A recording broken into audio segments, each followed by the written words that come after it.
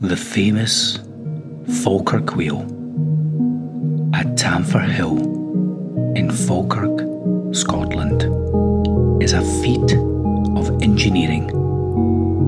Perfectly balanced, this rotating boat lift quickly links the Forth and Clyde Canal with the Union Canal.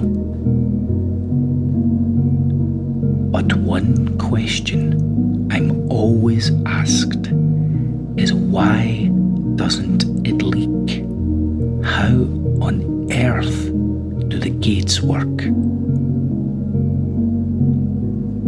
If you look carefully, you can see that the gates slowly rise and fall as required, creating a perfect seal to stop water escaping at each end when the wheel is operating